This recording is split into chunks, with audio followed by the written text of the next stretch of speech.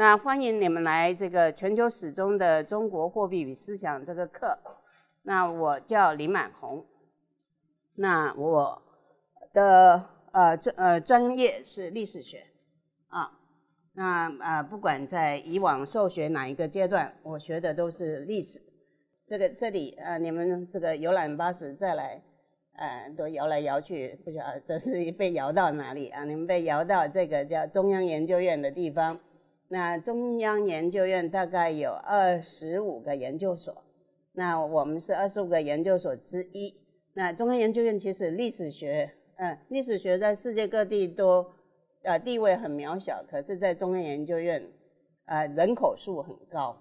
我们我们那个历史方面的研究所好多，呃，你们有些课可能会选历史语言研究所，那是做比较早期历史。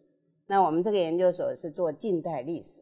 那还有呃台湾历史研究所，还有美国呃研究所里面也有一些人呃做历史，所以我们的人口数大概占全院呃中央研究院的，如果正式的研究人员大概一千多人，那呃历史学的人口数大概八分之一。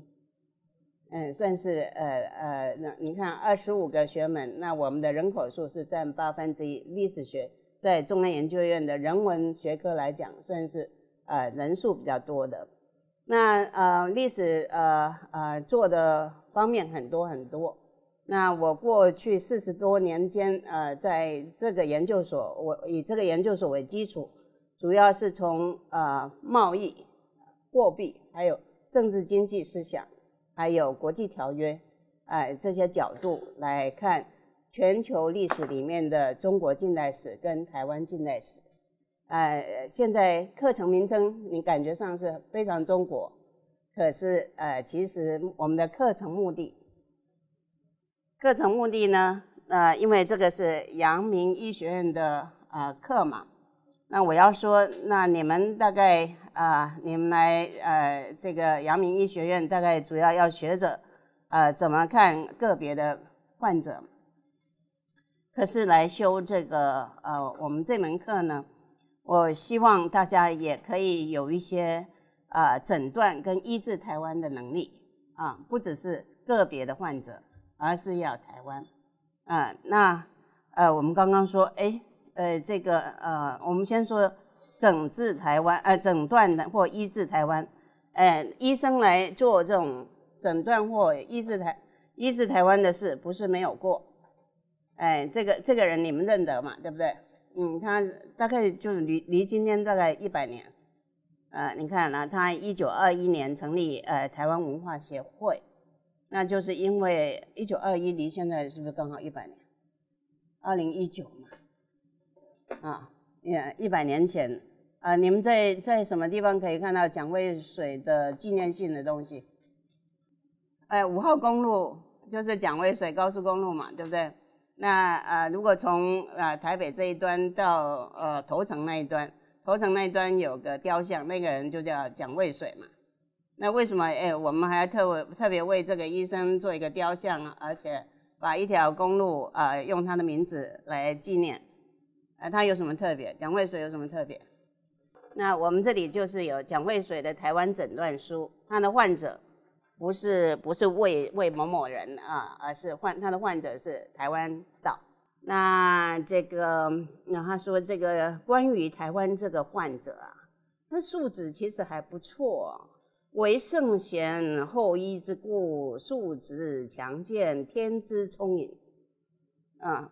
那那那我这么好的条件，怎么需要这个诊断呢？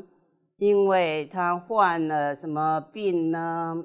是世界文化的低能儿，资质那么好，可是的结果呢？现在现在是世界文化的低能儿。那原因是什么呢？是知识的营养不良。嗯。那那那个为什么会得这么一个营养知识的营养不良症呢？它的经过呢是经过慢性疾病，十日破肠。啊，既然是慢性病，十日破肠，啊，你要去推导它的病因，一定要回到历史。所以我们这门课就要把这各位的时间空间。往比较长远的以前来推，呃，这个我们今天的好多的病的病因，并且也提出一些药方。课程名称大家会觉得，哎，离今天好远啊。那呃，我们现在的一个像呃东风式的思考方式，常常是先呃汇集。呃，资料，然后再经过呃逻辑推演，然后得到结论。结论讲在后面。可是西方式的，他喜欢结论就先摆前面。所以呢，我今天呢，在这个课程大纲的后面，就把这个我目前为止，你看做了四十几年的历史，然后嗯，包括我们这个课要讲的东西呢，那为台湾呃呃开的一。份药方，呃，就呃呃附在这个课程大纲，然后呢，整个课程其实是呃在说明，哎，这个药方是怎么开出来的啊的一个背景知识。那我们先把呃这个结论拿来说说，这个结论呢是在什么场合呃丢出来呢？呃，今年的元旦，我不知道，呃，最近连续放假。大家应该都过得还不错吧？可是，呃呃，那个新历年的时候，我想台湾有些人是会会因为这个事情，呃，有点觉得嗯，好像心里卡卡的。那就是习主席讲的话好像很凶哎，是不是？哎，那那呃，随时都会有一些人，像前几天我看也不是前天吧。前天我们家的电视就跑出来一个日本自卫队的什么前顾问，你没有看到那个新闻？呃，说呃，中华人民共和国什么时候要拿台湾？二零二五。这种话好像很多人都在说哎。所以呃呃，像这种事情以前的时候，我们好像都可以不管。可是越是你们，因为我在想，我二零二五我几岁了？嗯，如果发生三长两短，我也还好嘛，对不对？嗯，因为我我来日无多嘛。可是你们来日方长哎，哎，这种事情可能还是要呃稍微了解一下。那就是听到那么一些，嗯，我我会觉得，哎，当然我们的呃啊国家领导人有他的回应。啊，但是国家领导人是学法律的，那那呃，我觉得作为一个历史的工作者，哎，我也应该呃提出我的回应，所以这是在一月五号，呃，我用两个半钟头的时间，因为我我还要忙着要做好多别的事情，那可是心里卡着啊，最后就是嗯，因为。呃，接下来，嗯，我那个两个半钟头，最后收笔要去做什么？我要参加中央研究院合唱团，可是我还不会看五线谱。那那我要，我要有一个高中同学来跟我恶补，要怎么怎么看五线谱？所以我两个半钟头，最后结尾那个收笔收笔，那这个我要去学五线谱了。这个，那那这个我现在给大家的文章是两个半钟头写的。那两个半钟头当然不是那两个半钟头，呃呃堆出来的一些白纸黑字啊，呃呃那是呃就是累积了很很多的呃呃这个先前的一些研究呃理出来的一些呃呃这个心得，那呃我们大家一起来看看这个呃就好像哎。我们应该是孟子吧？有说，什么那个看到大人则秒之那句话怎么讲？哎，碰到这种哎世界级的这个大人物哎，这个中华人民共和国的习主席哎，要跟他讲话啊，呃，那可是我我们我们还是要，呃，就好像你看到一个很严重的病人，你要跟他讲，你要跟他沟通，你一定要回到他哎，他这个病的来龙去脉。所以呢，呃，这个。呃，我做学历史的，呃，就是说，哎，那你这个这么重要的一个国家领导人的话语，哎，他到底呃有些什么珍贵的地方？哎，那又有些什么我们可以开脱的地方？呃，大概这个我们在陈述的时候就往这个方向去陈述。那他这个。他这个呃呃话语，呃，在文献上的语词是《告台湾同胞书》四十周年纪念会上的讲话。哎，这个告台湾同胞，呃，你们的年纪大概不会很熟悉，像我们的年纪，一天到晚有蒋介石告大陆同胞说。呃，其实我们文章一进去呢，我们会说啊，这两边呢都是一样。本来不是一九四九就是各管各的了吗？那如果各管各的，怎么会是同胞呢？那也不只是国家领导人哦。这个呃呃，今今天针对很多人去中国大陆要拿一张证。那一张证叫做什么证？你看，全部沦陷。有人看过那张证叫什么吗？我别的投影片有，呃呃，以后再把它秀给大家。这个呃，今天先用说的那张证的白纸黑字写的是什么？陈宏明，你去。呃，中华人民共和国好多次了，那张证叫什么？啊？呃，还不错了，它不是叫两岸居民往来通行证。这个如果台湾这边的到大陆去，叫台湾居民往来大陆通行证。那如果是大陆那边的过来。是大陆居民往来台湾通行证，那大陆人称那个卡叫做通行证。我们伟大的两千三百万同胞，很自动的投怀送抱说，这个叫做台胞证，因为那个证是要给对方看的。然后我们就很自动的跟说，那个证叫做台胞证。那在你们的年纪，你们嗯应该还呃，你们现在是高中刚刚毕业没多久嘛？那应该是在高中前面的阶段，或者是国国国中后面的阶段，应该有立法院的一幕。立法院说：“哎，你这个中华人呃，那嗯，中华人民共和国怎么把那个证卡式化？本来是比较大的一本。”啊，后来就好像我们的银行的呃提款卡那么大，你怎么可以把那个卡式化？卡式化的话，我们的一些资讯都被你看光光了，不行了啊！那那这个，这个是我我我们提款卡资讯会被看光光吗？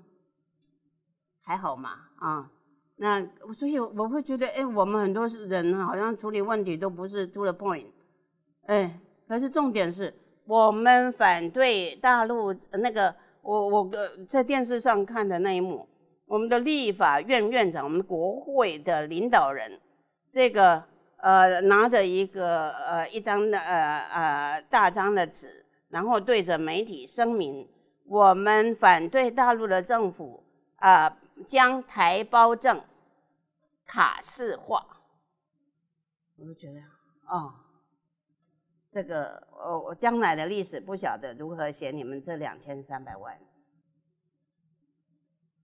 哎，怎么连国会的领导人都是这么自自然然的把台湾这个投怀送抱，把那个政那个政绝对是双方政府协议下的白纸黑字啊！啊，为什么大家看也不看就很自然？我们是台胞，我们是你的台胞啊！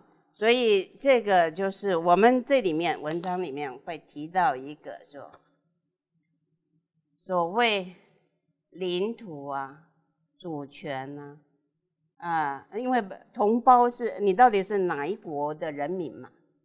哎，这个国家概念这种东西，不是东方的思维，那个是西方近代民主国家产生过程中。产生的概念。那我们这个课，你看好像谈得很远。呃，全球史中的中国货币与思想，我们这个课整个课呢，呃，就会告诉大家这个主要要讨论讨论这本书，其实最核心的部分是讨论。银线十九世纪的世界与中国这本书，银线十九世纪的世界与中国。那然后呢？呃，这本书为什么跟刚刚讲的没有主权观念会有关系呢？因为这这本书在讲这个，哎，好像以前的历史或是呃今天的大陆的中国也会说，哎。以前的中国蛮厉害的啊，那那好啊，你要蛮厉害的，再怎么蛮厉害都是以前呐。可是我们这个近代史研究所管的这个阶段，哎，中国并不厉害，中国很惨啊。啊，那那那怎么样？这个呃，由盛转衰。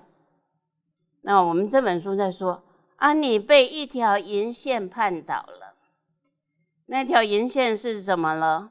呃呃，那是把这个中国呃呃这么这么样的深远，呃，就说对中国发生这么深远的影响。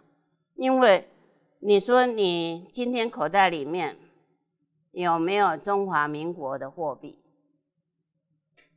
那个货币是不是你中华民国的中央银行印的？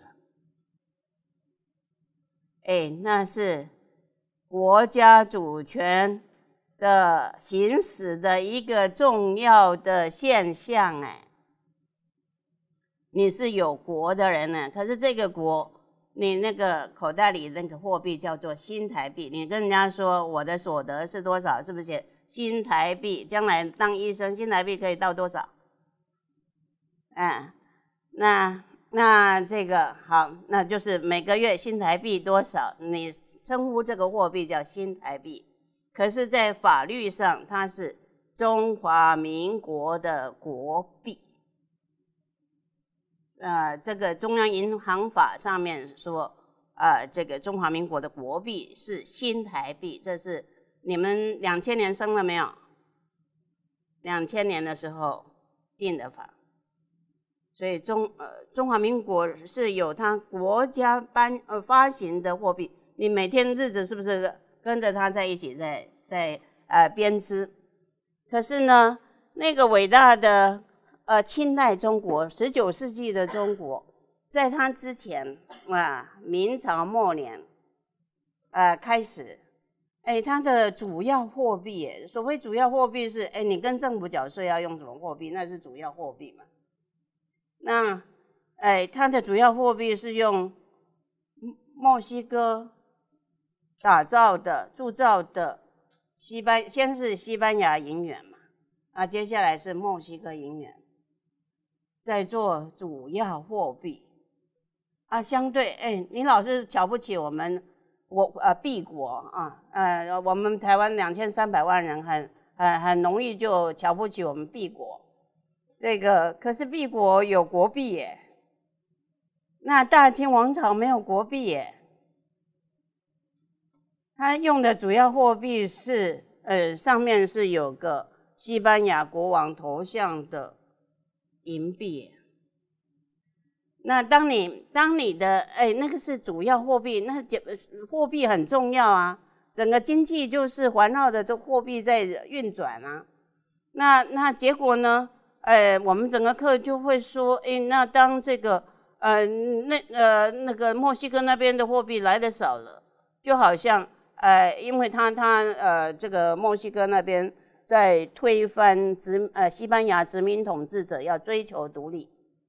结果呢，这个它的呃银币的供应就少了。这种情况呢，就有点像这个呃中东发生战争啊，我们像我们这些用于中东的油用很多的国家，会不会受波及？那这个我们这个大中国就有点像阿基利的脚后跟一样。哎，我们整本书在论这个。就是说，它受到怎么样的一个深远的影响？这是这这个课程最核心的部分。呃，那呃，这个呃，这个呃研究呢，除了将来会提供你们一本书之外呢，那这本书呢，呃，刚刚讲的是呃中文的简体版，我。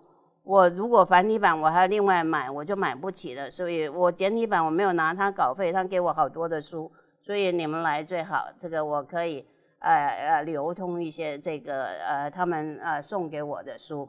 那如果因为这本书是这个英文呃呃转成中文，那如果你要英文版，呃我们今天呃徐徐总助教已经有一份这个从 Justo。下载下来的英文版，你不用花钱。你如果要的话，就跟助教要，徐助教要，你就可以有一本英文原版的书。那个你可以呃画重点的，你可以在呃电子版上呃呃做重点。OK，好，那整个课程最核心是讨论这么这么一本书。那这个那除了这本书之外，因为呃这个书已经谈到货币。那我之后就延伸的做货币图案，那个货币跟货币图案，货呃货币涵盖的层面比较多，它的量啊什么，呃各方面，那图图案是其中的一部分。那我延伸做货币图案，货币图案是从呃传统中国一直拉到今天的台湾。那我们那个研究会让你更清楚的看到。传统中国，你不要相信那个说秦统一中国，整个货币都统一的。整个传统中国根本就没有一个统一的货币，即使是那个铜钱的部分是不统一的。你我们的研究会告诉你，当一八九五年日本开始要来统治台湾的时候，他要面对两百多种货币。那你今天是不是整个台湾就是一个货币？那在这个交易成本方面，是不是呃 reduce 的很，就是可以比较有效的整个整个呃台湾就可以比较有效的管理嘛？这个很重要啊啊！那所以呢，呃，这个呃我们呃的历史呢，就是会呃像这个整个货币图案会讲呃两千年的中国怎么样，然后到呃台湾又是怎么样？你这么一对照。真的是可以看出，是说，哎，你今天台湾或是的中国大陆，你今天呃，台湾面临最严重的问题是，中国大陆也在这个文化传统里面，台湾也在这个文化传统里面，两边都不懂得主权，可是现在两边是要面对主权这个问题，那我们是从货币这个面向告诉你，哎，这样一个啊，刚刚不是蒋渭水说的。呃，是一个由来已久的慢性病嘛？那我们要去啊解剖这样一个慢性病它整个发展的历程。呃呃，那那这个这个是整个课程最核心最核心的部分。好，那解剖了这一部分之后呢，呃，这个呃，在你们的课程大纲里面，我后来是本来我是直接要端给杨明的，就是这这些而已。可是我后来觉得，哎，这样子这样子，呃，给这个刚刚高中毕业的台湾孩子哦，呃嗯，这个台湾孩子可能会觉得，哎，我干嘛？呃，我一开始要找找助教的时候，都没有人要来当助教啊，那个中国的我才不要呢。呃，你台湾的我还要管啊，呃，这个那那你讲中国的我不管。还我那时那个过程中说，哎，这样不行呢，哎，这个呃，我还要呃把把课程拉到台湾来啊，这样子也讲中国，也讲台湾，反正我我刚刚已经跟你说过，我又做中国，我又做台湾，所以那我们在课程前面呢。啊，才把这个台湾的部分加进来啊。那那呃，这个你看一下课程大纲前面呃，这个好几篇呢是呃跟啊台湾有关的。那这个跟台湾有关联的部分呢，那我们会说，哎，这个整个关联呃呃，我们要从等会就要讲进去哦。呃，这个逐渐浮现的太平洋说起，啊，就要去点，呃呃，这个啊，台湾跟呃中国的一些交错现象，或是跟那个银线也有关的。那呃，这个里面呢，一个跟银线有关的，我们刚刚讲十九世纪，呃，这个呃拉丁美洲独立运动造成中国很严重的这个。由盛转衰的一个变化，那是在鸦片战争前后。呃，的鸦片战争是呃在中国这边打的，然后呢，加州、涉州是差不多同时哦。那个是一八四零，这边是一八四九，那两个是共同的背景，就是我们课说的拉丁美洲独立运动造成。呃，全球性的白银减产，结果全球的人都是到处去挖金，不是淘金潮吗？呃，为什么呃叫旧金山或新金山就去挖金呢？挖银呢？啊，原本用的银用的多，然后呃金用的少，那因为呃也也去挖金挖银之后。呃，这个因为经济越来越发展，所以用金越来越多啊，大概是这么一个呃情况。那这个美国的国界碰到太平洋，这个中国，我刚刚讲在鸦片战争前后这一场，我们整个课会去论证说，哎，大家呃讲近代史会非常强调鸦片战争。的威胁，可是我的课会说：“哎，那个战争其实影响不大，我的货币危机影响远比那个战争的影响大的大。”那那中国这边拖垮了，呃，怎怎么垮？我们会再细说。然后呢，哎，相对应的，哎，美国因为离那个产银的地方很近，哎，你知道，我我我先前很开心。呃，大家都觉得，哎，这个天下第一大的美国，可是我后来才学学会说，哎，这个美国的命运跟我们，呃呃，有些方面其实有点类似。哎，这个，因为我我另外一个研究已经是研究日本统治台湾时期，台湾作为日本到这个东南亚的中转站。那美国呢，它的崛起，它美国呃在十三州的阶段，它不是还是英国的殖民地吗？然后慢慢往西拓，啊，国力慢慢起来。国力慢慢起来的其中一个原因，他就是把那个墨西哥那边的银往世界送，然后把世界的东西啊往啊美国、美洲或是欧洲送。他也在扮演中转角色的过程中崛起。那。在中国慢慢下去，我们整个课程要跟你说一个跷跷板。这个中国这一端，它沉下去。那太平洋两岸的一个是美国，美国碰到太平洋是一八四九，他哪一年到日本？一八五三黑船事件嘛。对不对？好，这两个是后来者，相对那些英国，英国它一八四零已经可以打鸦片战争，在那之前它又扩张很多，它是绝对是十九世纪的第一大帝国，对不对？那欧洲到中国那个相对美国、日本都是先来者。那美国、日本是后来者。那这两个后来者就是要采取跟那个欧洲在中国的势力，呃呃抗衡的一个呃远东策略。他们那时候叫远东。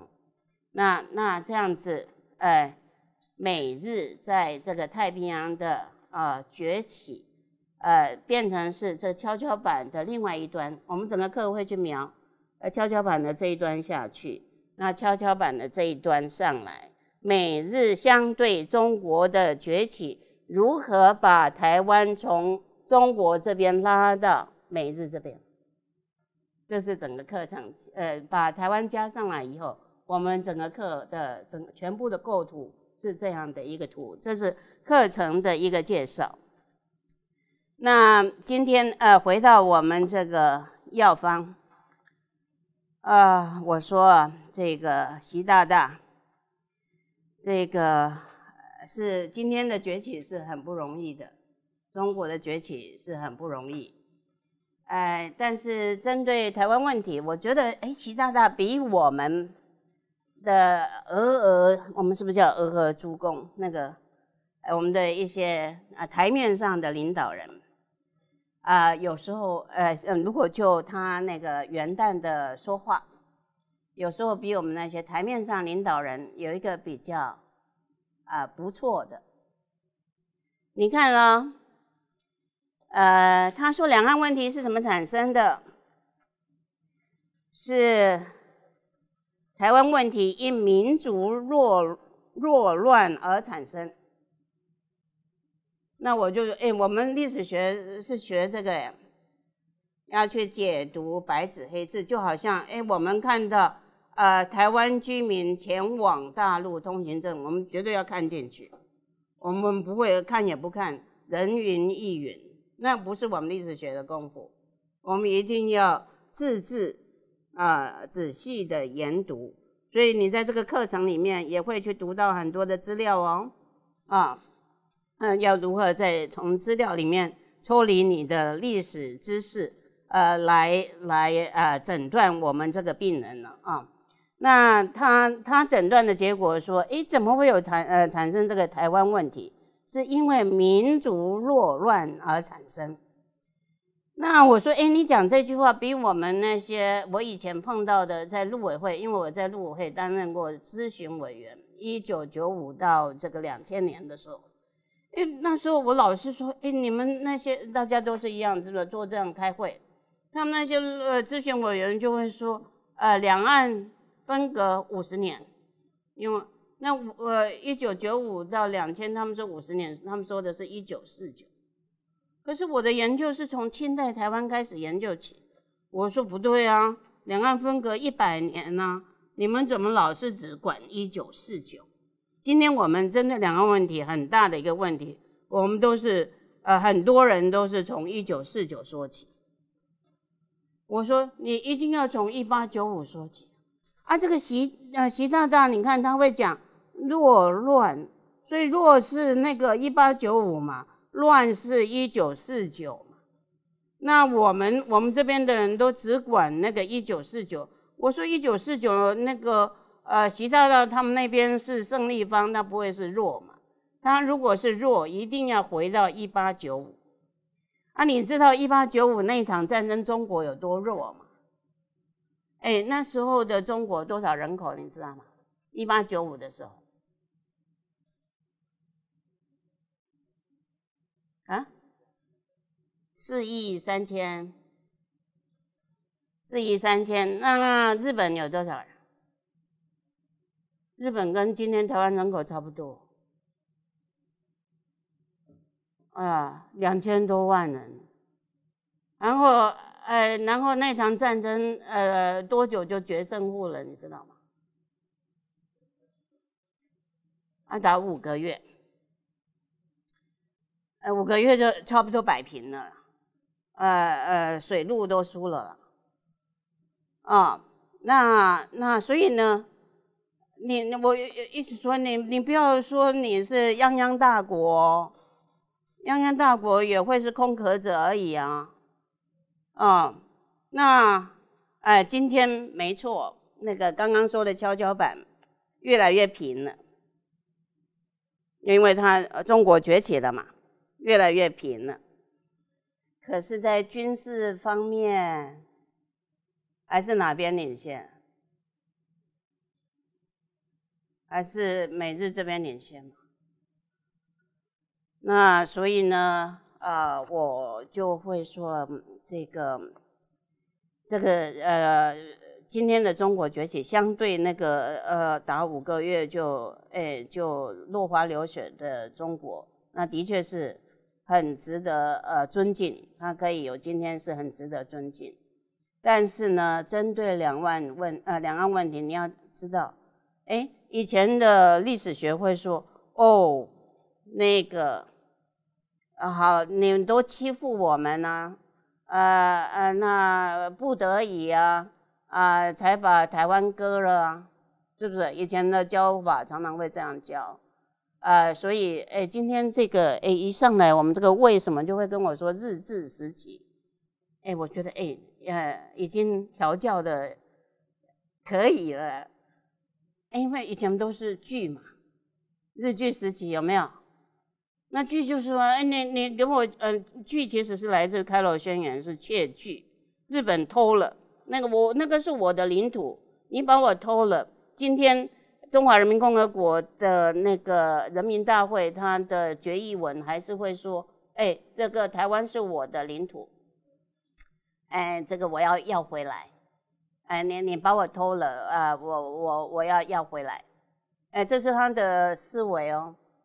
那可是呢，呃，相对那样的一个相当，即使我们早期台湾的呃思维也类似的，那相对这样的一个思维，习大大会说是因为中国的弱造成的，这已经是我刚刚不是说他很不错了，他会呃从反省自己的这个角度来，呃呃看这个问题，而不只是怪别人，啊，因为哎那个日本。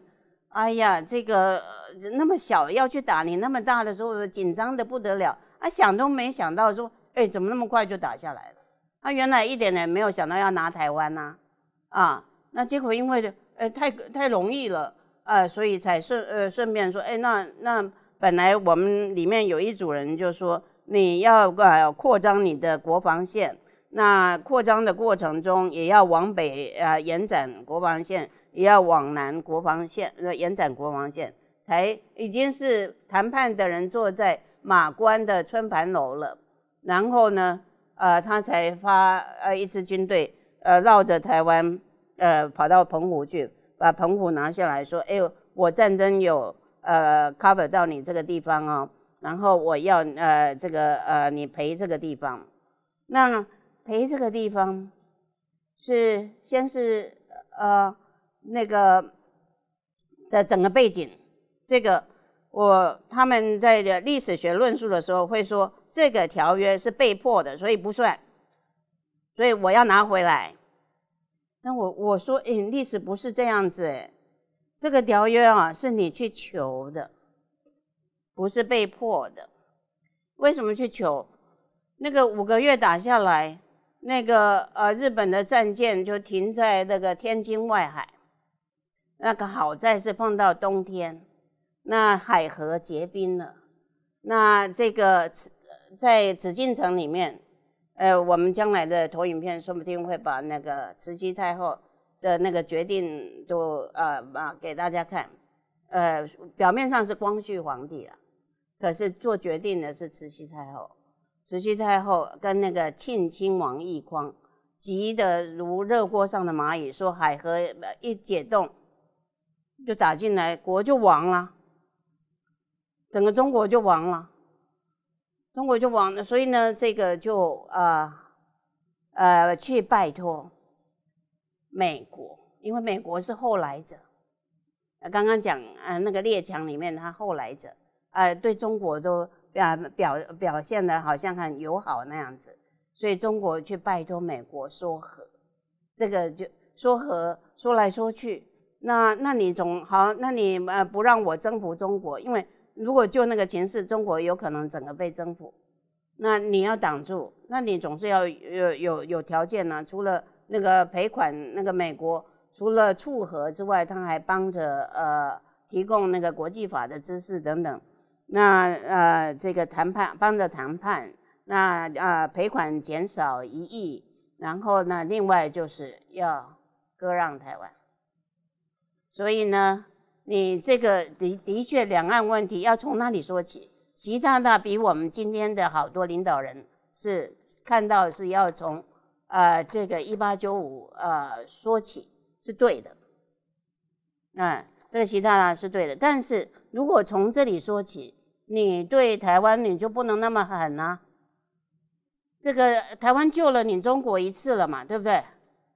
因为你把台湾割出来，你呃中国活过来了嘛，还还保住了嘛。好，那接下来的第二次的日本侵华。哎，那个呃，一九三七年的日本啊，比一八九五厉害多了啊。中国没有厉害太多啊。在这种情况之下，中华民国为中国保保了八年多，中华民国对中国绝对是有功啊。那那所以，不管是老百姓这个层面，或是中国中华民国这个层面。对你今天的中国都有功，所以呢，对于呃这个在台湾的这个中华民国呢，也就是台湾跟呃，就像我们刚刚讲，中华民国的国币是台币，我们本来就是中华民国加台湾嘛，啊，那你对于这样的一个组合体呢，啊，就历史来讲啊，不能太狠啊。那呃，这个呃，我们那丢出了药方说，哎，你可以思考那个芬兰模式。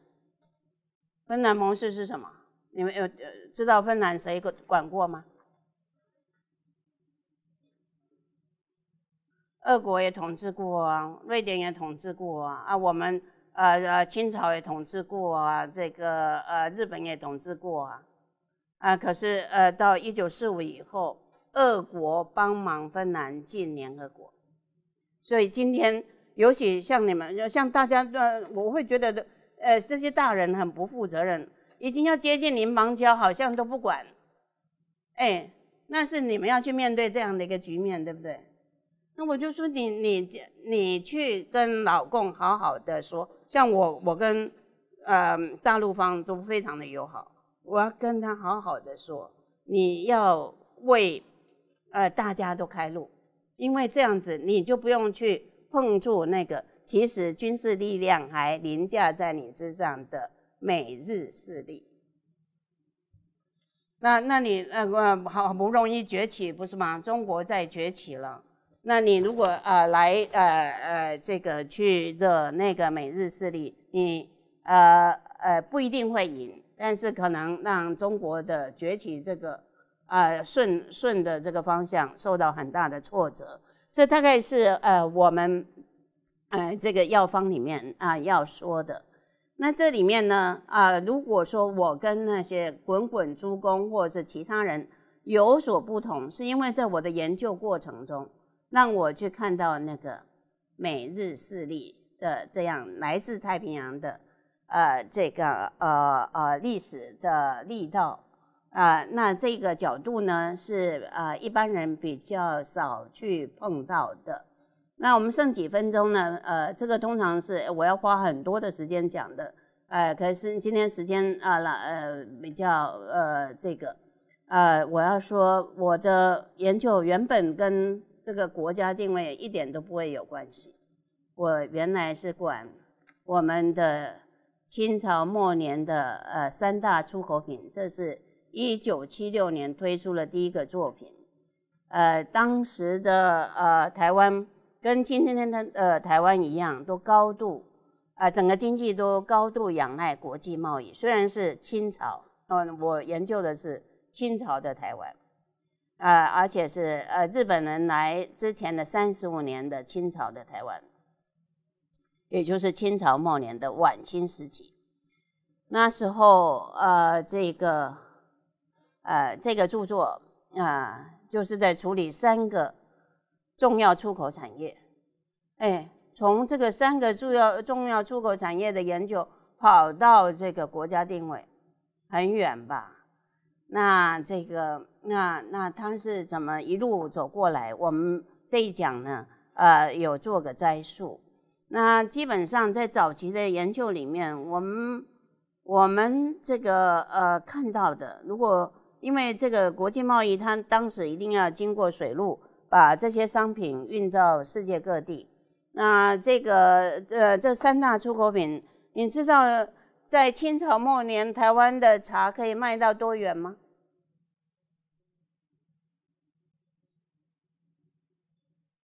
嗯，哎呀，去过美国的请举手。啊，清朝末年台湾的茶就去到美国了。啊，纽约是它的第一大市场，所以台湾是超级。我说，我我为什么要用全球的角度来看台湾，或是看中国？因为它整个商贸方向很早就全球化。那这个呃。呃，说樟脑吧，樟脑它第一大市场是西德，呃，是德国，那时候没有分西德，就是德国。那糖呢，它有一度是也是卖到全世界，但最后呃呃呃缩小的到只有这个日本跟中国大陆啊。那这个呃三大出口品的占比。呃，这个就占整个出口值的百分之九十四，在这个晚清这段期间，那这里面呢，茶独领风骚是五十四，那糖是三十六，这个樟脑几乎是四。那我们这个研究，我跟你讲，我一开始根本都不会去碰到那些呃政治的事，这里呃，当然等等会会稍微讲的啊，一点政治经济。那这里面呢，会去解一个问题。我们这本呃，这个研究在解一个问题，就说，哎，今天今天你们很很多是中南部来的吧？有哪些是中南部上来？彰化，还有呢，哎，对啊，那为什么中南部不跑去台南？呃，如果是清代那会念书的人都跑去台南，那个全台首学不是在台南吗？嗯，那你们为为什么跑来台北？这里面已经发生一个历史变迁。啊，那那个全台的呃历史重心为什么从台南跑到台北？那我们这里这个研究在从经济角度呃呃提出一个回答啊，就是说，哎，本来呃历史台湾历史中心在台南是因为整个经济活动呃以米跟糖为主，米糖就产在呃南台湾。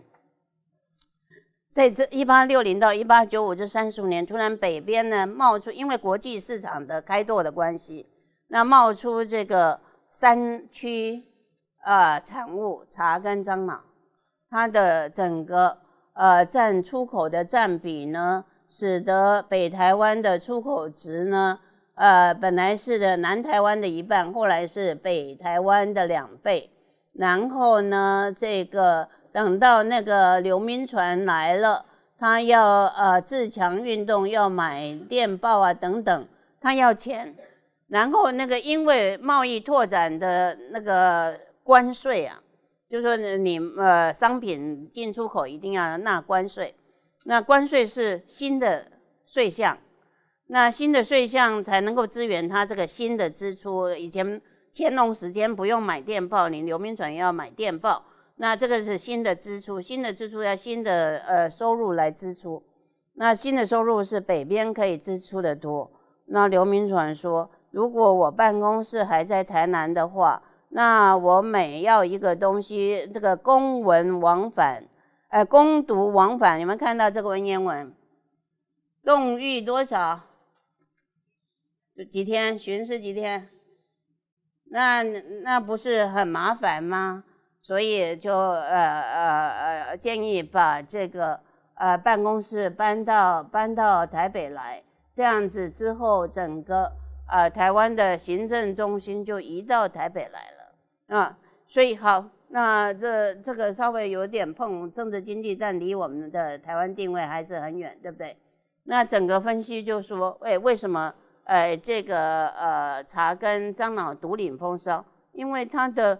呃，国际市场很喜欢很喜欢台湾这些新开发土地产的这些东西。那那所以呃，我们这里面是在用一个经济学里面所谓的看不见的手市场原则。所以我这整个呃作品还不一点都还没有看到太平洋。那那接下来一个作品是，诶，大家也，诶，我我的研究都很奇怪，我去研究中国人自己种鸦片，啊，所以我我我有呃，我从从一向的研究都跟别人角度不太一样，我去研究中国人种鸦片，那谁也没有教过你说中国人自己种很多鸦片，对不对？那那这个呃，这个中国人种鸦片，我呃发表的一些呃作品里面可以看到说。中国人，呃呃，刚刚讲鸦片战争是一八四零嘛，那到一八四零是十九世纪接近中叶，到呃十九世纪结束的时候，中国人种的鸦片已经是外国鸦片的九到十倍了，你记十倍好了，那不是很厉害吗？那这个使得这个是进口鸦片呢，后来掉下来，为什么最后掉下来？因为哎，外国鸦片已经没有办法跟中国鸦片竞争了。所以就干脆就不补，而且然后这时候影响到医学上，呃，看鸦片，这个在这之前，在中国没有大众鸦片之前，鸦片不不管中国或者是世界都说是药。然后呢，在这之后，鸦片变成是毒了，其他比较没有副作用的，呃，跟鸦片有相。呃，类似作用的药发明出来了，你看，那所以呃，这个因为跟阳明医学院的，我总算有一篇跟医药史还比较有关的，所以哎，这篇也会纳入课程里面啊。那那这个呃，但是这整个研究呢，我们要说呢，它也是在谈一个呃看不见的手，呃，因为它那个鸦片很贵。鸦片很贵的，那当时的陆路交通都很很呃要很大的代价。你看啊，从台南到台北就要呃十天，这个要很花钱嘛。你即使挑夫在那里挑来挑去，都要过夜啊，要住旅馆呐，住客栈呐，都是要钱呐。那这个呃，但是鸦片很贵啊，你可以 cover 那些呃负担呐。所以呢，它进口鸦片进来以后呢，呃，它就可以跑到中国很内陆的地区，然后内陆的地区就呃种最多，啊，到处种起来，啊，这是它的分布的大概情况，然后到处流窜。那个四川产的鸦片也可以跑到台湾来，也可以跑跑到中国东北去，也跑可以跑到呃呃西藏去啊，那这个到处流窜。那这个来呃取代这个呃进口鸦片，那整个呃其实既然是从它的单价很高来说，那也是在讲一个市场机制，所以这个到这个作品还是没有看到具体的海洋。我们刚刚讲呃如何我的作品如何让我慢慢看到太平洋。那好，接下来是银线，刚刚有略微提的这个作品，那这个银线有看到海洋哦。呃，看到海洋，这个海洋呢是在这个，那那个墨西哥的银呢，它是这么跑的，它是先跑回，因为它原本西班牙管就跑跑回欧洲，那欧洲在还没有苏伊士运河的时候是透过好望角这样子跑到中国的，有苏伊士运河的时候是透过这里跑到中国，啊，这是最主要的干道啊。那所以呢，这个作品让我看到海洋了，呃，但是看到的是大西洋。你知道吗？今天，呃，每次你说东方，像我刚刚讲，东方国家不没有近代主权观念，西方这是近代西方的一个概念。这个东方西方，主要就是以这里为为为为立足点来看。哎，呃，中国不是在远东吗？可是，如果以太平洋为立足点来看，哎嗯，欧洲在远东啊，美国在远东，所以我们今天整个我们在讲知识，我们呃课程一开始不是讲，哎，我们要呃知识上的呃一个重新调整啊，那这个是现在我们整个历史学都是要啊开始这个脱离以大西洋为中心的历史观。那我们这个课程刚好就是因为我从台湾研究出发，呃，我们很很直接，我就可以碰到非大西洋的中心啊，所以可可以呃让大家看到那个呃这个呃非大西洋的面貌。可是我说我到银线研究的时候呢，我还是以看到大西洋为主。然后呢，接下来银线之后的一个作品是黑潮文明经济圈的历史与文化。台日关系篇讲四百年来的台日经济关系。哎，我已这个黑潮是太平洋上这个洋流嘛，太平洋在这里嘛，然后黑潮在这里，呃，是从北赤道流过来。我在讲它啊对台日的一个深层影响。我已经看到太平洋的洋流了，可是它是在这里啊，我没有看到整个太平洋。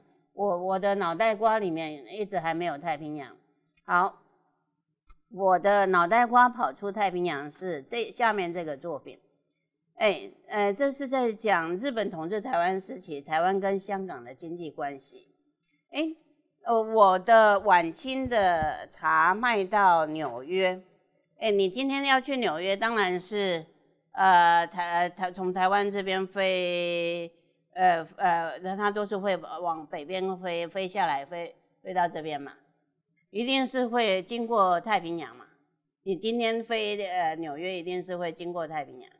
从台湾的话，可是我的台湾的茶卖到纽约，尤其在清朝末年的时候卖到纽约，他们走什么路？你知道吗？他们一定是台湾到厦门、香港，然后东南亚、印度，然后呢这个呃就到。到这个呃后来呃那它主要时候是有苏伊士运河，然后到呃呃伦敦呐，然后再到纽约，是走大西洋路线。可呃那是清代的时候，那因为我这个研究，因为我原本做清代，然后我到日本时代，我就清代跟日本时代这样子对照看，哎，到日本时代不对了，我的我的茶跟樟脑呢，哎是改走这个太平洋路线了，哎从。这这里多了一个运河了，这里一九一四年多了一个巴拿马运河。本来呃这个苏伊士运河，苏伊士运河呃在这里嘛啊，呃差不多这里。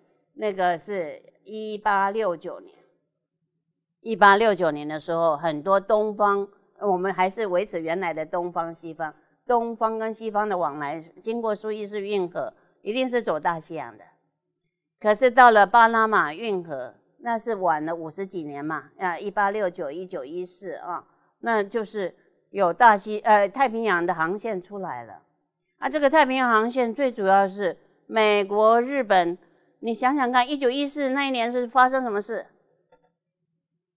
一战嘛，一战，你想想看，一战对欧洲的影响是怎么样？哎，欧洲本来比美国厉害的嘛，美国是欧洲的殖民地嘛。啊，嗯，整个美洲都是欧洲的殖民地嘛，可是两一战就养了二战嘛，两次大战把欧洲从世界的这个领头羊拉下来了，啊，然后这时候就慢慢就跑出，哎，这个美国跟日本，呃，在那里养太平洋航线，那，呃，我最讶异的是。因为原来走苏伊士运河的时候，香港很重要。香港在这个，你不要看它小不点，它可以把整个呃中国、日本、韩国、台湾的东西透过香港卖到欧洲去。香港很重要。在一九一零年代的时候，香港是东亚第一大港。可是到一九三零年代，香港的世界港口排行榜是第七名。那这个呃。第三名，第一名是纽约，第二名是伦敦，伦敦已经掉下来，是纽约已经上去。然后更更重要的是，神户是第三名，大阪是第五名，呃，介于中间的是第四名鹿特丹，啊，香港掉下来。所以你看到，我从这个研究我看到太平洋的崛起。那在这个太平洋崛起的过程中，我们的宝贝台湾在哪里？谁也没有教你这个，对不对？你都不知道，啊，其实台湾之所以有今天是很不容易的。那为什么会有这个？本来这个美国跟日本在拱那个太平洋势力的时候，他们两个是非常交好的。那为什么后来结果二次大战结果两边打起来，珍珠港事变打起来？那最主要是哎，那哎都我的课程都跟经济有关，对不起，因为我我是从这个角度。一九二九年世界经济发生什么事？华尔街嘛，啊，世界经济萧条。啊，本来呃美日交好，那可是你这个美国不可靠了，有点像今天的美国，有点这样子。那那日本就要往往大东亚发展啦。这这他为什么后来这么这么好像呃这个非常的扩张在呃那东亚大东亚这些国家又相对又很弱，呃所以他就往这边发展他。他第一关去先去占那个满洲国，呃，就是占占中国东北，建立满洲国，那使得他呃在这个应付这个这一次的经济萧条的时候，是比其他国家顺多了，你知道？因为他要呃有地方可以开展，呃是这样的一个情况。那当这整个呃呃日本往大东亚拓展这个一关一关，最后呢？呃，打到那他本来是往北嘛，他先北进嘛，呃，先呃九一八不是吗？机机那是从北边下来嘛，那最后呢是打到东南亚去，不是吗？那打到东南亚的时候，你们的宝贝台湾就在这个大东亚工农圈中心。哎，这个图不是我画的，这是朝日新闻画的历史图，一九四四年，这就是表示你今天为什么？那我好，那从这个。这个圈圈我就晓得，哎，为什么你台湾呢？台湾汉人到台湾是哪一个世纪？十七世纪，很好啊。十七世纪，那我们就会进到，所以我们课程这个会特别讲。十七世纪的时候呢，台湾有没有一个国家？有没有一个汉人自己的国家？没有嘛，啊。那可是呢，人家啊，你你也许把它忘掉了。这个小不点的那霸这里，它有一个国家哦，叫做琉球王国。那我们的课程会进去这个，就说，哎，为什么？因因为，哎，那你去呃那个那霸就会看到他们好多观光的书会有这个图。这个圈圈圈圈，不是跟我刚刚那个圈圈圈圈长得很像吗？那我们呃接下去会有一个单元在讲，哎，这个两个圈圈是怎么形成的？然后，哎，这个圈圈呢，主要呃这个那霸做中心的圈圈，呃，主要是我们刚刚那个圈圈形成的之前五百年形成。那个呃那霸作为那个圈圈的中心的时候，他养了一个琉球王国。那我们这篇文章要说，啊，刚刚的那个圈圈的形成，其实是造就了今天这个跟台湾结合的中华民国。台湾本来是无国的，那今天怎么会有国？那那个那个琉球王国为什么？哎，你你刚刚跟你讲琉球王国的时候，你好像不太熟悉。他有国变无国，那我们那个文章要说，哎，那你要从有国变无国也是很容易的。那所以呃，琉球王国可以作为我们一个呃镜一面镜子。那这是呃课程里面会安排的一个单元，这是琉球王国的正殿啊。那这呃，所以呢。呃，这个我们今天的这个国家的行所跟这几个人有关，然后呢，跟这个这些条约有关。呃，那因为呢，呃，虽然你看啊，这个这个建筑哦，是一九三一到一九三八，其实到一九四五了，中间有断了几年，那后来又又开又有，一直到一九四五。中华民国驻台北领事馆，一九三一到一九四五，中华民国是台湾的客人，才会领事馆嘛？你知道领事是什么？我们国家有人到外面的哪一个国家去，那发生什么事情，我们这个国家要派一些领事去照顾这些在海外的我们国家的人嘛。所以，哎，这个呃这段期间，中华民国要在台北设领事馆来照顾中华民国来台湾的这些人。所以，中华民国那时候是台湾的客人。那可是就同样的建筑，到了。呃，刚刚呃，我我有稍微秀一下这个条约换约生效的那一天，它开始变成日本驻中华民国的大使馆，啊，日本变客人，中华民国变主人，所以它有过一个主权的一个移换。那这些明明都是历史哦。我我原来在管茶堂长老的时候，我都不用管这些，我一点也不知道有这些事情哦。那因为呃这样层层推导下来，我才知道有这些东西。可是就像呃我们一开始说的啊，大家根本不再关心什么叫做主权，什么叫做国家，什么啊有过这么一些东西，我们也不知道哈。那那我们这个课程会先告诉大家说。呃，这个那个呃呃呃，白纸黑字上面写的中华民国是指现在跟未来有是有效统治区的中华民国，不是秋海棠的中华民国。那那呃，就是说这个这个呃，你跟人家签约要呃这个呃要把。这个房子卖从 A 卖给 B，B 要不要写他的地址？那他他这个签约的时候一定要写中华民国的地址。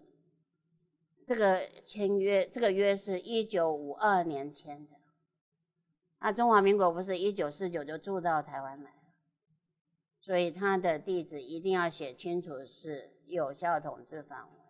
那也就是台澎金马及其附属岛屿，所有这些我们都没有交。然后这个呃约呢，呃我们产权移移移移转要不要去呃有一个法律的登记？那国嗯国家领土的呃移转要去哪里登记？要去联合国登记。你今天在网络上呢还可以看到这个。登记，那那这个就是这个登记的文号是一九五二年联合国的一八五八号条约，这个 China 是呃 Republic of China 啊，那条约呃国家的基本要素，这个政府、人民、领土与他国往来能力，他国往来能力在呃这个界定国家的这个叫蒙特维德公约第三条。啊，明确说不以外交承认为必要条件。那你今天比如说，呃，我们中华民国国币当然还是可以买世界各国的东西，那就是跟各国往来的能力。所以，呃，贵国或是敝国绝对是一个国家。那呃，这个就说我们的整个课程会教到这个台湾的这一部分啊。那这也是我跟习大大讲说。哎，你针对台湾，你恐怕你现在要变成世界的领袖，你要回到这个世界的规矩，世界呃规矩产生的这些呃嘛白纸黑字，您可能要管管啊。那本来都是这只在关心台湾，哎，这个意料之外的，这些年来这个跑出一个东海、南海问题。哎呀，我从茶堂长老又要拉到这个呃东海、南海。哎，实在有够远。那我们的同事都说：“你不是经济史学者吗？你怎么在管这种事情？”哎，一直一直骂我。可是我说没办法，人家找我啊。这个这些都是哎，日本是第一个叫我去研究钓鱼台的国家，然后英国是第一个叫我研究南海的国家。好，那没办法，那我只好啊硬撑着。那可是这这个呃，当他们呃这个要求来了之后呢，这个。呃，我可以跟别人有不同的呃答案，不同的视角，答案还是一样，回到刚刚那一张那个条约，还是回到那个条约。所以我总括来看，台湾呃很清楚，就是马关条约，还有这个刚刚那个条约在台北签的吧？那这个叫台北合约，谁也没教过你们啊。那马关台北，其实就决定了台湾的主权，然后除了台湾之外，也决定了这个钓鱼台跟这个南海主权。先说南海，南海因为很直接，白纸黑字写在那个条约上面。呃，现在世界各国针对南海快快要打仗了。啊啊看啊，全世界找来找去都没有条约依据啊。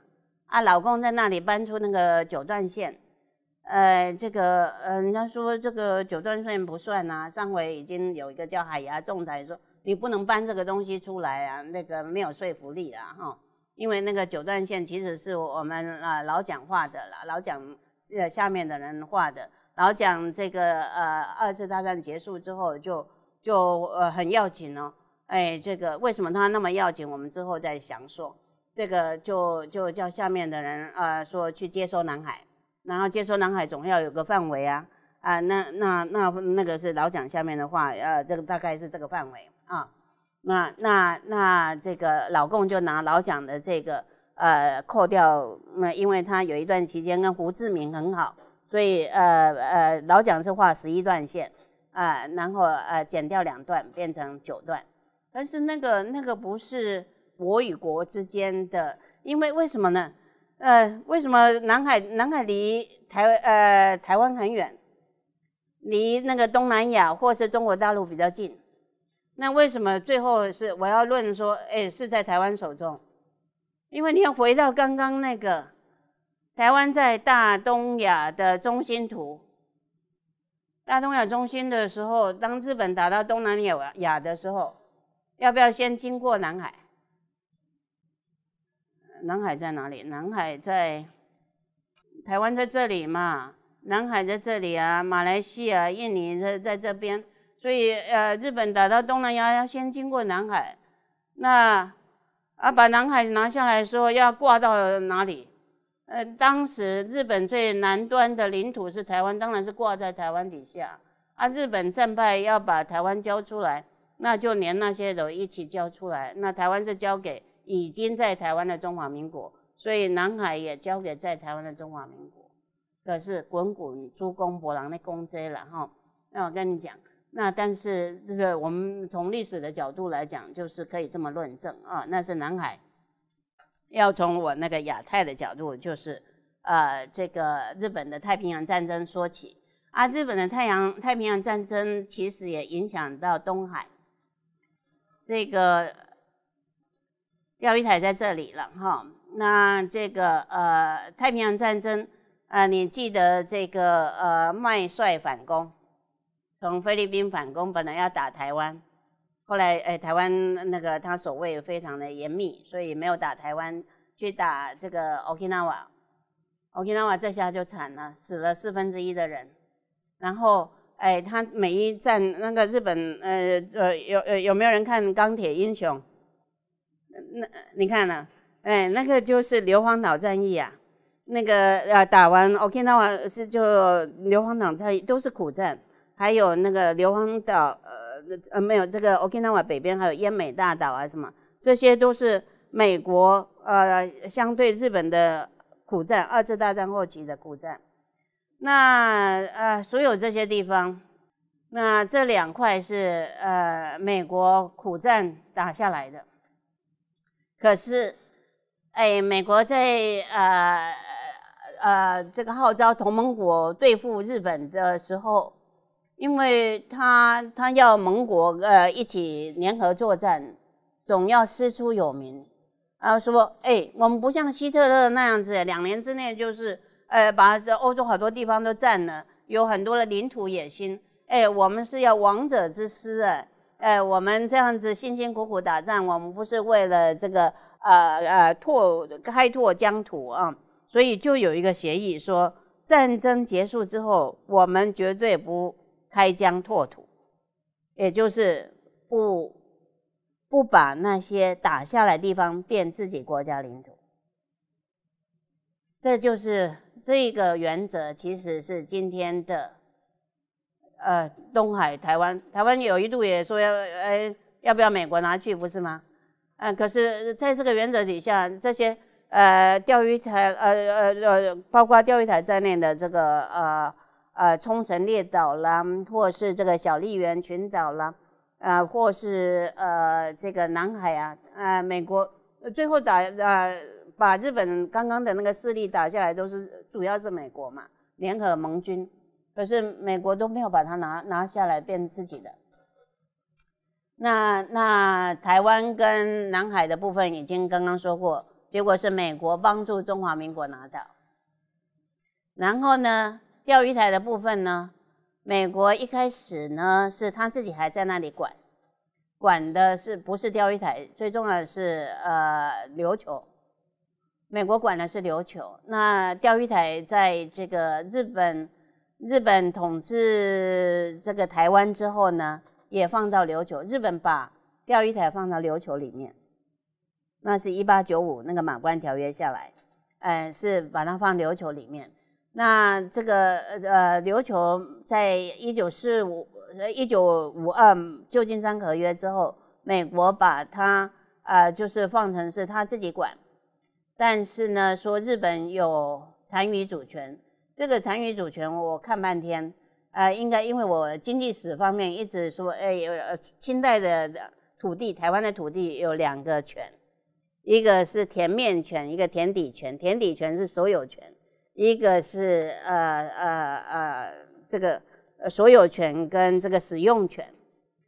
今天呃，你我现在只能够摘述钓鱼台的部分，哎，田面权是呃使用权是日本，所有权是。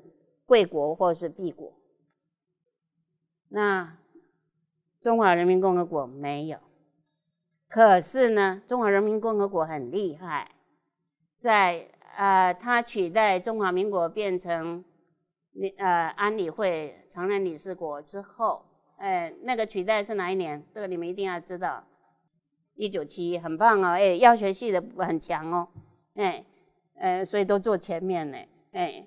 那个一九七一嘛，哈，一九七一以后，他他之所以进去，本来就靠第三世界嘛，那些非洲啊，或者是呃那些被殖民过的国家，那第三世界，然后呢之后就不断的又动员第三世界帮他的忙，去通过一个叫联合国海洋法公约。今天碰到这个呃南海或是呃东海。都会去引用到这个公约。这个公约它本来有领海的呃呃定义，领海本来是离海岸三海里。那这个大中国利用它这个背景呢，这个就去把它延展成十二海里。哎，中国海岸线很长哎，厉害吧？这样厉害吧？呃，我们常常会跟他说，你你都不去跟你去算。一九七一以后，你进联合国，你得了多少啊？嗯，都没有人去研究说，不，P.R.C 进联合国之后，他得到多少好处？OK，好，那这个就是一个很显然的好处啊。临海，然后呢，啊，又从啊沿海线划两百海里是经济开发区，哎，他划两百海里可以碰到钓鱼台啊，所以这样下来，哎，那，哎，我们那个。呃，那现在大家对他评价两极的马先生，他他一辈子呃最钟情的议题就是钓鱼台，他是保钓出身的，就哈佛的博论也是写钓鱼台。他会去他去提东海和平倡议是还不错，他的论证没有绝对没有我的论证那么那么啰嗦，但是他总算做了这样一个国家领导人的动作。提出东海和平倡议，就是三方共同开发是不错的。那南海也是，他后来也提了。那南海呃，在我的整个论述基础之上，哎，是可以说，哎，您看呢，这个现在大家吵来吵去，结果可以解套的是这个，你们都已经要把它这个忘掉的中华民国。哎，这个这样子。哎，可以帮忙世界解这个难题耶。因为中华民国不会去跟你跟你这个呃太过意不去嘛，对不对？没有那个呃力道嘛。那那这个哎呃跟也那个所有权状也不在呃中华人民共和国，也不在东南亚哪一个国家，而是在那个大家都要忘掉了中华民国。那那呃呃我们又说，哎，它上面有南沙西沙啊，可是。它的基础是日本的时代去把南沙、西沙拿下来。日本时代用这些岛，都是只是拿它来，哎，给飞机加油啦，给船加油，主要是用那个岛，不是用海底的呃资源嘛。那所以呢，哎，那个合约条约上的那个呃西沙南，这西沙南沙就是只有那些岛，那。那你你这样的话，你现在的呃整个情况是，好多国家去那些岛去插旗，呃呃呃到处立地为王，啊不造成了一个紧张嘛。我说，哎，你这样子，哎，你插旗归插旗，你是没有所有权状，呃，你不能在那里就说，哦，那我要从这里再去划两百海里。美国最希望的是南海要变成自由开放。那你回到这个中华民国的这个所有权状，最能够达到自由开放。然后呢，那既然是自由开放之后，哎，你这些周边国家，你当然可以从你的海岸线去拉两百海里啊，这是就周边国家来讲可以得的好处。那就美国得的好处，那贵国或敝国得的好处是什么？那我们当然太平岛，呃，你不能再跟欺负我。太平岛也是有白纸黑字的根据的啊。然后再来呢，呃，就是说，哎，那呃，这个在如果说那个公共海域要共同开发的时候，当然呃呃，台湾也可以插一脚。呃，大概呃呃，我们呃整整个课程呢，呃，会从。中国的积弱，然后把台湾放呃呃呃呃呃给了这个美日这个势力之后，然后呃结果呃今天的台湾呃他对呃今天的亚太问题大概啊可以呃就说提出这样的一个作用，我们大概要讲到这些啊，所以从积弱呃那中国边也要管，然后。啊，台湾跟着美日在一起之后的一些发展也要管，然后来撑出一个就是呃结论吗？这个就说碰触到这些呃呃议题，然后呢呃课程大纲呃的顺序呃你们呃就呃可以呃呃自己慢慢看进去。